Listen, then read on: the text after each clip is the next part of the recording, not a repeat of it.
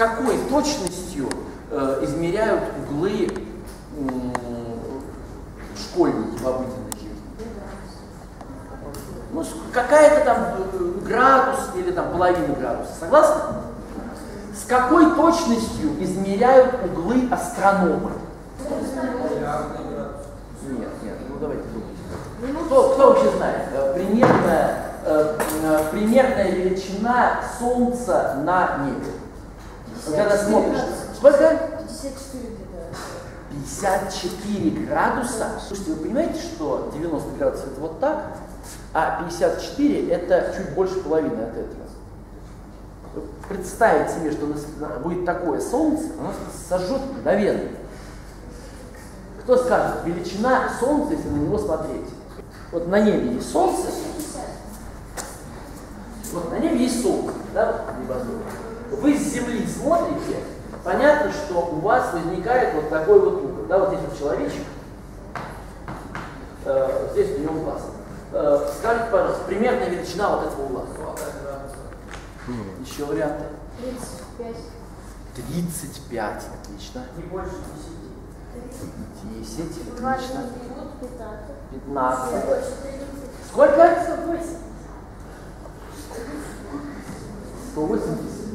будет, это если вы э, знаете, есть э, анекдот, да, что э, северокорейский космонавт э, слетал на Солнце.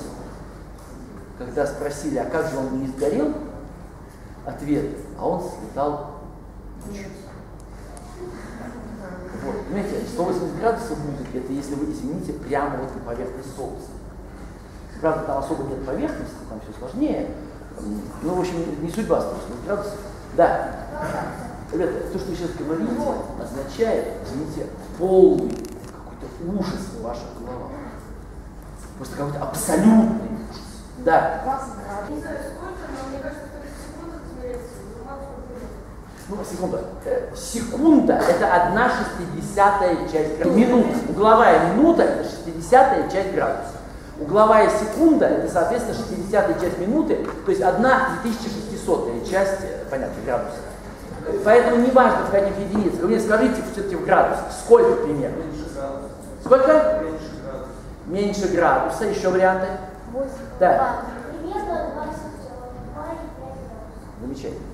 Ребята, если честно, я этот опрос делаю вовсе не первый год на этих самых кружках. И ответы примерно всегда такие. Э, значит, правильный ответ примерно половина градуса.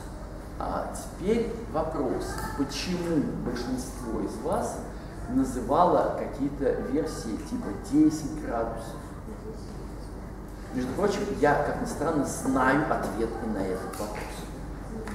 Ответ очень обидный для вас, но, тем не менее, что называется, имейте э, мужество его выслушать. Ребята, дело в том, что абсолютное большинство из вас это... Дело в том, что вы москвичи, большинство из вас. Да и, собственно, и большинство населения в городах.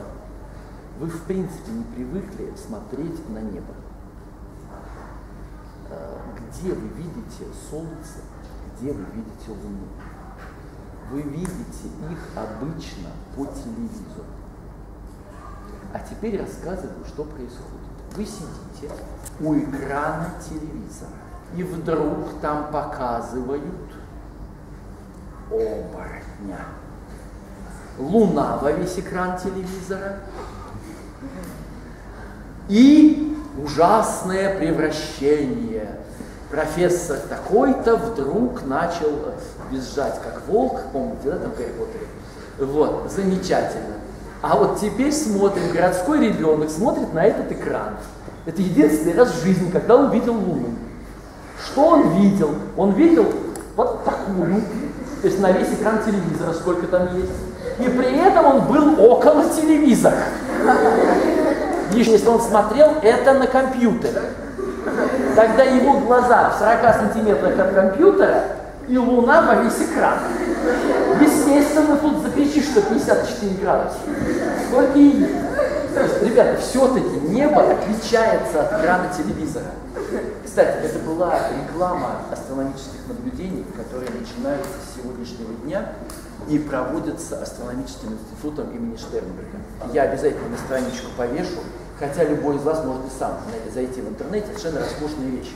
Они уже много лет подряд пускают любых людей смотреть в телескоп.